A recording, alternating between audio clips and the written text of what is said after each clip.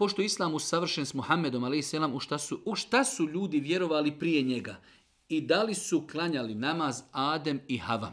Da li je namaz počeo s objavom Kur'ana i tako dalje. E, Uzvišnji Allah s.w.t. je stvorio zemlju i nebesa, stvorio je Adem a.s. njegovu suprugu, od njih je nastalo čovječanstvo, tako u šta su ljudi vjerovali, ljudi od početka, Znači, Allah Žešanu mi slao poslanike da ih pozovu, da ih poduči, da je uzvišnji Allah s.w.t. gospodar zemlje i nebesa i da se samo njemu i badeti čini. I ljudi su kroz historiju uvijek se vraćali tauhidu, monoteizmu i robovanju uzvišnjom Allahu. Bile su E, epohe, bili su periodi kada su ljudi odlutali, odlazili su od tog pravca pa su se e, robovali e, kipovima i razno raznim drugim božanstvima, ali od Adema ali se wasalam selam do Muhammeda ali salatu wasalam selam Allah je čovečanstvu neprestano slavu poslanike da ljude vrati na džadu, da ih poduče ko je njihov gospodar i kako da robuju gospodaru.